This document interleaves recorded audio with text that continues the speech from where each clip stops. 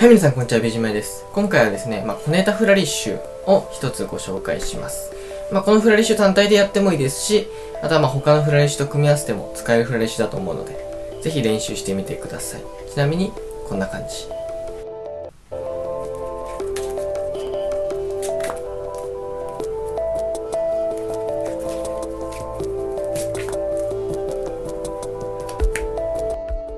まあ、結構簡単に覚えられるフライシュだと思うので、ぜひ覚えてみてください。それでは近くで見ていきましょう。はい、それでは近くでやっていきましょう。まず、右手で、だいたいこれぐらいですね。まあ、だいたい10枚ぐらいのバケットを取ります。そして、中指と親指で、中指を左肩、親指を右角にこのポジションで持ちます。これですね。そして、シェーリーカットなんですが、右手の親指で上げて、シェーリーカットをしながら、人差し指を使って半回転させます。こんな感じですね。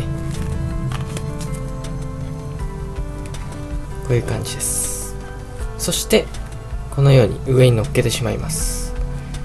で、この時は斜めに入れているので、中指、親指のところは少しパケットからはみ出ている形になります。こんな感じで。で、このまま左にスライドさせて、そして人差し指で人差し指が下に潜るように回転させます。で、回転させてる間に、また、シーリーカット1回、左手でします。そして、右手の親指を離して、人差し指と中指だけで、このパケットを支えます。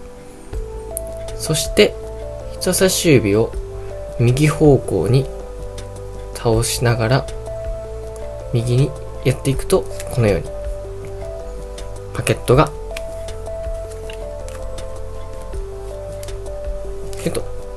倒れるような形になります。では最初からもう一度やってみます。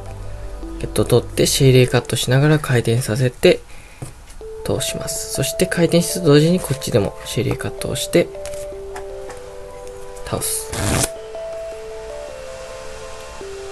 パソコンの起動音だ。続けましょう。こんな感じです。ヒュイッと取って回転させて倒すと。普通にやると、こういう感じで、こうですね。はい、それでは最後に正面からお見せします。だいたい10枚ぐらいを取って、中指を親指で持ちます。そして、シェリーカットしながら、半回転、乗っけてあげて、貫通させます。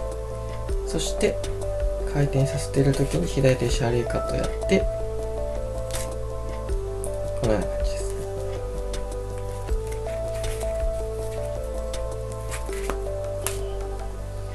ちなみにトップ false のカットになってます。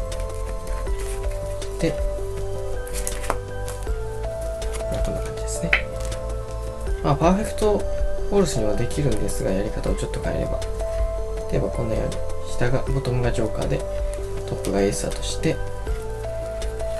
まあ、この時に完全に重ねないでこのまま親指で支えてCharlier cut をすればこのように perfect cut false cut にも持っていけます。でこのようにして revolution cut をしても、まあ、パーフェクトにはなりますのでそこはここで好きなところ好きな方を選んでみてください。ということで小ネタフラリッシュ。